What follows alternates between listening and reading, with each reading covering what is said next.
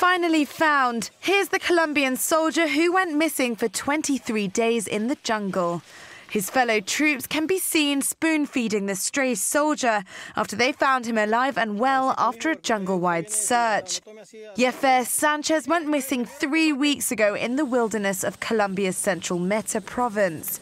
He said that somehow he became separated from his unit while on patrol in an area known for heavy rebel activity. Weak and thin when he was discovered, he didn't appear to have sustained any serious injuries.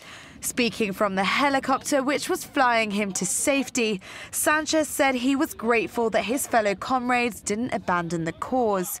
The soldier said he spent most of his days walking around in search of a way out, and that he even resorted to making up his own rap songs to keep his spirits up. Surviving on plants, turtle meat, and fruit, Sanchez said he went days without hydration.